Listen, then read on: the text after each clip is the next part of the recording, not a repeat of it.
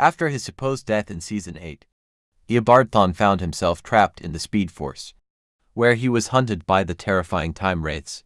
But Thawne was not one to give up easily, and he soon found a way to lose his pursuers in the endless expanse of the Speed Force. As he explored this strange and otherworldly realm, Thawne stumbled upon a figure that sent shivers down his spine.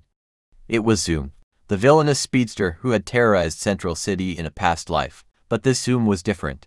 He had somehow managed to survive the time wraiths that had captured him in Season 5 and had been trapped in the Speed Force for three long years. At first, Zoom was wary of Thawne, knowing all too well about his mind games and manipulations. But as the two villains talked, Zoom realized that Thawne might be his only chance of escape from this endless prison. Thawne had read news articles from the future about Zoom and knew that the two of them could help each other out. Despite their differences, Thawne and Zoom began to work together with Thawne teaching Zoom how to tap into the negative speed force. With this newfound power, Zoom could traverse the speed force with ease, and the two villains plotted their escape. For weeks, Thawne and Zoom traveled through the speed force, evading the time wraiths and searching for a way out. And then, one day, they found it. A portal that led back to the world of the living. With a burst of speed, Thawne and Zoom raced towards the portal.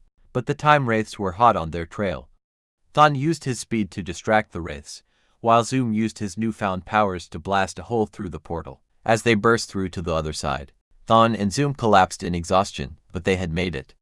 They were free.